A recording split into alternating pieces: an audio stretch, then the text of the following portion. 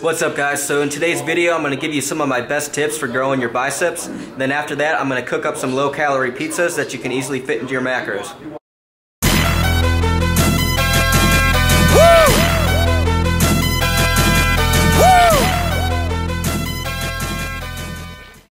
What's up guys, welcome to today's video. We're back downstairs in the apartment gym. I'm going through a pull workout right now, but I'm about to take you guys through some of my bicep exercises and give you guys some tips to optimize your bicep training. So let me start off by showing you guys a little bit of the anatomy of the bicep. So you're gonna have the, excuse me if I pronounce these wrong, but the brachialis muscle right here, that's gonna be the, the long head of your bicep on the outside. And then you're gonna have the brachii right here that's going to be the inside of your bicep or the, also known as the short head. So uh, when training biceps, a lot of people tend to put a lot of their focus on the short head of the bicep, but you want to make sure that you're training both of them because they're both equally as important. And another thing about biceps, but the uh, bicep serves for three major functions. So that's going to be um, elbow flexion or like curling movement it's going to be for forearm supination, so rotating your wrist like this, and then shoulder flexion, so raising your arm up. So there's going to be the three major, major functions. The short head and the long head are both helping out with those functions. So I'm going to start off with some bar, uh, barbell curls. All right, so when lifting the biceps, you want to really focus on mind-muscle connection, and you want to make sure that you're working out your biceps and not your other muscles. So you know, we're not, we're not using our back, we're not using our shoulders. You just wanna, uh, you wanna make sure that you're uh, getting a tight contraction and you're um, controlling the weight. So, you wanna control it down.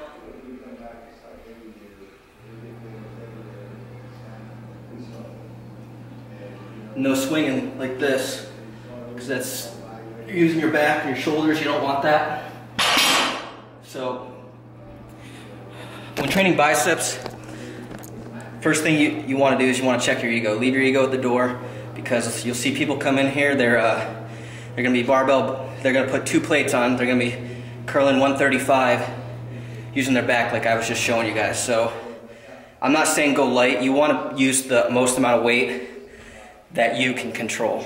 So I'm not saying go light, just use, don't go too heavy where you're throwing off your form and you're not actually working the biceps. So, all right, so I know some people do cheat reps when they're doing bicep curls, especially with the barbell. I don't really like doing those, but I am a fan of forced reps sometimes. So um, when you, when I get to, a, when I start to fail, you have a, a lifting partner. If you have one, he's gonna, uh, he's gonna lift the weight up basically for. That's Jeff. Thank you. Um, he's gonna uh, lift the weight up for you on the concentric uh, movement of the lift so the part where you're contracting, then he's gonna let go and let me control the weight down, also known as the negative part portion of the lift. Then he's gonna help me lift it up again and let go and let me do the negative. So that's called a force rep. So I'll show you an example really quickly. So just let me lift it up and then let go. Ready? Gonna let go. I'm gonna control the weight down on the negative. It's gonna help me back up. Control the weight down. One more and then it's gonna let go, I'm gonna let that. So sometimes I'll do a heavy set and I'll go to failure, do five or six reps, and then I'll have my lifting partner help me help me do that so I can uh, get a few more reps in with the uh, negative part of the lift. So now we're gonna move on to uh, standing dumbbell bicep curls. So next exercise that I'm gonna do is a alternating dumbbell bicep curl, and I'm gonna do them standing. You can do them seated as well, but I prefer to do them standing. So this exercise, um, we're gonna have the dumbbells at our sides with this kind of grip here to start, and we're gonna come up and we're gonna start to rotate. So we're gonna get that supinated rotation going. So supinated is when your palm is facing the ceiling. And then we're gonna rotate back down when we come down. So we're getting that elbow flexion as well. And this is really important that you get this full twist. So I like to think, I like to squeeze like with my pinky, and I like to like think that I'm bringing my pinky right up to my shoulder up here. So I'm just gonna do alternating like that. Making sure that you're getting the full rotation. And another thing I see done wrong with this, some people will do curls and they won't they won't focus on the uh, negative portion of the uh, exercise. They just they, they lift it up and they let it fall. Lift it up and they just let it fall. But you gotta control the weight all the way through the motion. So up, full rotation, and control it down. It's like this. This is really gonna hit that short head of the bicep. Here I like to work in like the six to 10 rep range, usually about eight. And it's important to make sure you guys are training with intensity. When I say six to 10, make sure you're training hard. You wanna be failing or having one rep left in the tank at like six to 10. If you do eight, you could have done 12, you're really not training in the six to 10 rep range. So six to 10, usually I hit, I hit about, I try to fall in that range with this lift, so. Another tip on this lift, if you, uh, if you want to make it a little bit more challenging, put your grip up towards the top of the dumbbell just like this. So when you uh, start to twist the dumbbell, it, it's going to be harder for you to get that full rotation going because there's more weight on this inside. It's, it's forcing, it's forcing my hand to want to go back into this neutral grip here. So maybe lower the weight down a little bit if you need to, but you put hold on the top of the dumbbell,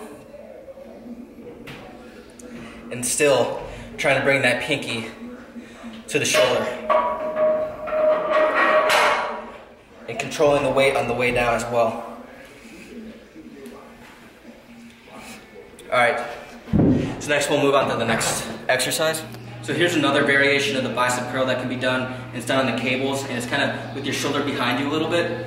And just curling like this, it's keeping tension on the bicep the entire, for the entire movement. So sometimes I'll change it up and you don't really have to go very heavy on this particular exercise.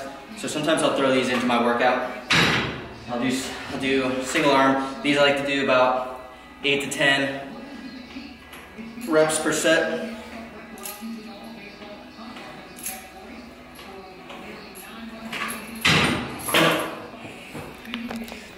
So that, that's just another variation that you can do.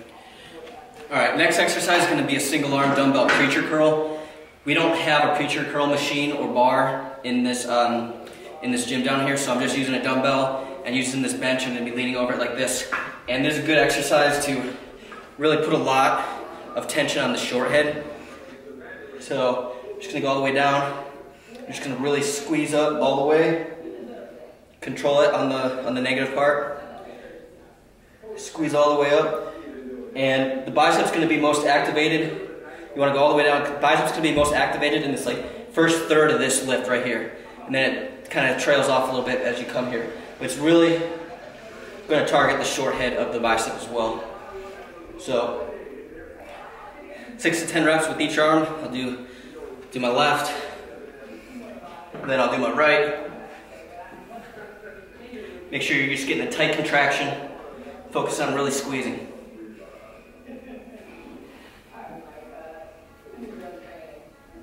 All right, so then now we're gonna move on to an exercise that's gonna target the long end of the bicep. All right, so the next exercise is gonna be a seated incline uh, dumbbell curl. And I like to do these alternating as well. And this is really gonna target the long head of the bicep because it's already fully stretched out. Your shoulder's kind of behind you like this. So this is really gonna hit the long head and it's gonna, the, the, second half of the movement, gonna, there's gonna be the most tension on the, on the bicep. So it's just gonna look like this. Same as when we were uh, doing standing curls, but uh, we're gonna rotate the wrist and bring the pinky up to the shoulder.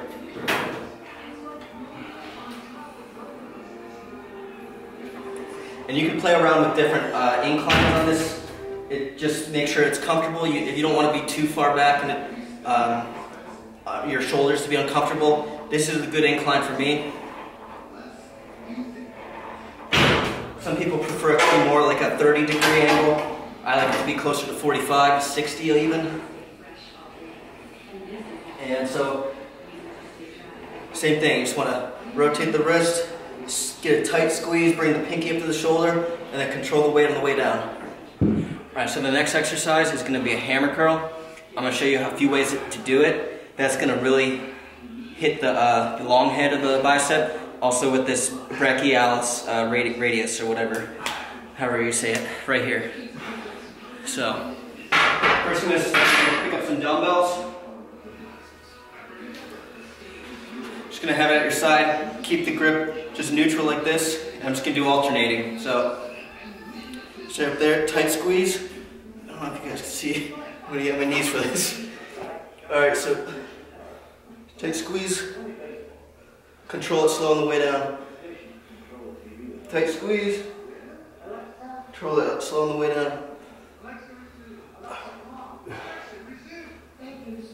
So there's one way to do it with the dumbbells. I like doing it with the dumbbells, and I also like doing it, I like doing it on the cables with a rope actually. You grab the rope and you do them both at the same time. We don't have a rope here though, so I'm just gonna show you how to do how I do a single arm. And I don't even have an attachment on the thing. I just grab, grab the thing like this. And same thing, just keep the keep that neutral hammer grip. You're just gonna squeeze up, control on the way down.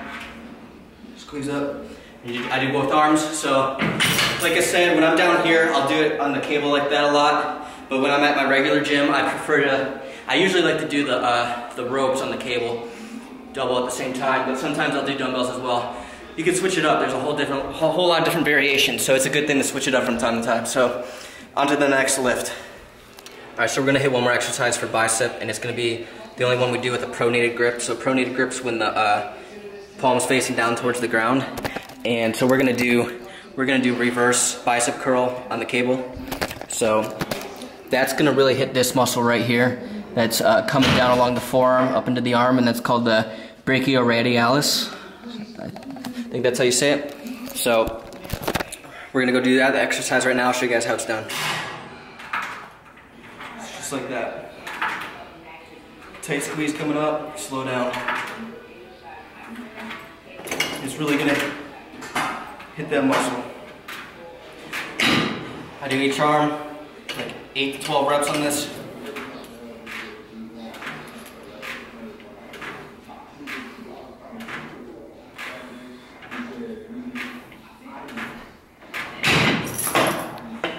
And then that's that's all I do for for that uh, for the pronated grip exercise. Almost done. All right, so that's going to conclude my bicep workout for today. Uh, guys, those aren't the only bicep exercises that I do. That was just an example of what I chose to do today. And uh, I, there's a lot of different variations that you can do. And I do recommend that you change it up from time to time. Uh, I just want to show you guys some of the major ones that I do a lot of the time and give you guys some tips on that. Um, so to recap it, uh, you don't need to go that heavy on biceps. Sometimes you'll see people going too heavy and throwing off their form. They'll be recruiting other muscles like their back and their shoulders, and you don't want to do that. But that's not to get confused. I'm not saying to go too light. You just want to use as much weight as you can where you can still control it and get a good contraction, control the weight on the eccentric motion, and uh, make sure you're getting a full range of motion. So uh, that's those are my tips on biceps and how to grow them. Uh, I'm gonna finish up with some cardio, then I'm gonna go upstairs. Stick around if you want to see me uh, cook up some uh, low carb pizzas. I'll see you in the kitchen. All right, we're back upstairs from the uh, gym down the kitchen. I'm gonna cook up some healthy low, hey, gonna cook up some healthy low fat, low carb pizzas for me and Jeff watching the tribe game. So let me show you guys really quick what we got here. Jeff's probably gonna think it's gross, but he's gonna be surprised. So we got this um, this garlic flatbread. Macros on it are pretty good. Five grams of fat. Two macros. 29 carbs. Six protein. Then we got this even um, lighter option. This um, Flatout flatbread. Light Italian herb. Um, 1.5 grams of fat. Only 14 carbs. And 9 grams of protein. Then we got some of this fat-free mozzarella cheese game changer right here. Um, we got zero fat, obviously zero fat, not okay. Two carbs and nine protein. Um, got some of this grilled and ready chicken. Um, so that's going to be a little bit of fat for three ounces, two and a half grams of fat, one carb, 19 protein. Got these turkey pepperonis. So for 17 slices, which is kind of a lot, it's only four grams of fat, zero carbs, nine protein. Um, some reduced fat Parmesan cheese. I probably won't have any of that. Jeff might want some. Uh, this Hunt sauce, tomato sauce. So that's only so it's zero fat, four carbs, and less than a gram of protein. It's for 62 grams, though, which is quite a bit. And I got some of this red pepper and Cajun. So I'm gonna put those together, put them in the oven. I'll show you guys what they look like. All right, guys, just pulled these out of the oven. Looking pretty good. Let me give you the macros on these. So start with the one on the left. It's uh, this one with this garlic flatbread. The macros on that one are 431 calories, 45 protein, 35, 39 carbs, and 10 fat, so not too bad. Then this one's going to be even less. That one is this one on the right here. And that one is going to be 48 grams of protein, only 24 carbs, and only 6 fats. So, you can see, two pizzas right there. Pretty low in calories, low in carbs, low in fats. So, I mean, even, even if you want to add some of this stuff, you can. Like, there's room for this reduced fat Parmesan. We only got one gram of fat, two carbs, one protein. So if you want to sprinkle a little bit on there, uh, no calories in this crushed red pepper. Just some Cajun. If you like, if you like a barbecue chicken pizza, this uh, Stubb's original barbecue sauce actually has pretty good macros for 32 grams, which is a pretty good uh, serving for barbecue sauce. You're only getting six grams of carbs, so that's not bad at all if you want to uh, have a barbecue chicken pizza. So that's our meal. We're gonna eat this up. Jeff's gonna give an honest review review of what he thinks. I guess so. I'm gonna make him say it was good. No, I'm just kidding. Actually, guys, this is the first time I've made these, so we're both gonna give an honest review. All right, we just finished up the pizza. We're eating. We're working on it. I don't eat pizza that often, so I thought it was pretty good for a low carb, low fat pizza. But I'm gonna get Jeff's opinion right now. What do we think? Well, it was free. Freeze And all. you ate it. Freeze always Free's makes always it taste better. Yeah. So, pretty good. Pretty good for a low carb, low fat pizza. For 45 grams of protein, is that what you Yeah, 45 grams. That's a lot, right? That is a lot. So yeah, it's pretty good. Yeah, pretty good. Pretty sure he's lying. but I enjoyed it, and it looks pretty good. Um, I don't know. I would eat it again. He, he would eat it, he would eat it again. So would I. So if you guys are craving pizza, can't fit it into your macros, and you don't want to cheat, look for some of these ingredients at the store, and you can make a pretty good pizza. That's still gonna fit your macros. So I'm gonna uh, close out here. I might end the video here. If I do, thanks for watching. Please uh, like and comment. Jeff really wants you to subscribe too. Um, if I if I don't, then I'll see you later. So once again, thanks for watching. All right, guys, really quick, just a quick update. Um, so it's Monday night, getting kind of late. Tomorrow morning, I'm flying out to Los Angeles. I'm meeting up with a few guys about a potential startup company, and it's still in the beginning stages. The reason I'm going out there really is to you know get in front of them face to face, figure out what they're about, um, go through everything that needs to get done if this is going to happen, and just kind of uh, figure out what the steps are and the- the cost for everything. So uh, beginning stages. Uh, hopefully, I'm hopeful about it, so we'll see what happens. Uh, and like I said, guys, I'm not an entrepreneur because I haven't, I haven't done anything yet, but I want to be an entrepreneur. So I'm documenting my journey and trying trying to do that. So hopefully this works out. If not, I'm just gonna think of something different. So uh, I don't know. We'll see. Uh, I probably won't take the camera because it's just a one-day trip. Nothing exciting. I'm not going to take it into the meeting, obviously. So I'll give you guys an update though when uh, when I get back. So thanks again for watching. If you like the video, please like it and subscribe, and then I will see you in the next one. I got, I got, I got, I got loyalty, got royalty inside my DNA. Cocaine quarter piece, got war and peace inside my DNA. I got power, poison, pain, and joy inside my DNA. I got hustle, though ambition, flow inside my DNA.